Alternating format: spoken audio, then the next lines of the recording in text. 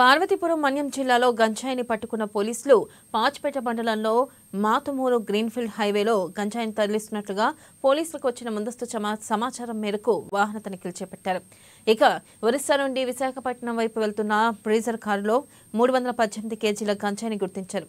ఒరిస్సా నుండి వైజాగ్ మీదుగా తెలంగాణకు అక్కడి నుండి రాజస్థాన్కు తరలిస్తుండగా పట్టుకోవడం జరిగిందని పోలీసులు తెలిపారు.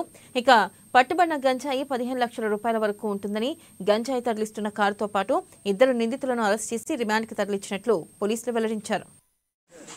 వారి దగ్గర నుంచి ఆర్గనైజ్ చేస్తూ ఈ మాఫియాని రన్ చేస్తున్నటువంటి ఆర్గనైజర్ అయినటువంటి ఏ త్రీ ముద్ద ఈ Shetty Umamaheswararao alias Mahesh alias Hussain Sivalingapuram village S Kota మండలం విజయనగరం జిల్లా.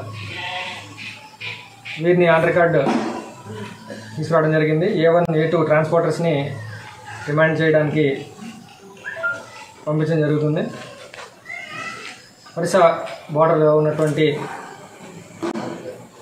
డిఫరెంట్ డిఫరెంట్ ఏరియాస్ నుంచి కొంచెం కొంచెంగా ఈ గంజాయిని ప్రొక్యూ ప్రొక్యూర్ చేసి ఏ ఫోర్ సప్లయర్ ఎవరైతే ఉన్నారో సేకరించి ఒక ప్లేస్లో పెట్టుకొని అక్కడి నుంచి మళ్ళీ ఏ త్రీ ముద్ద అయినటువంటి మహేష్ ఉమామహేశ్వరరావు ఎవరైతే ఉన్నారో వీటన్నిటినీ కూడా మన అరకు మోతుమూరు అదేవిధంగా పాచిపెంట ఇటు నుంచి రామభద్రాపురం విజయనగరం హైవే ఇలాగా ఈ రూట్లో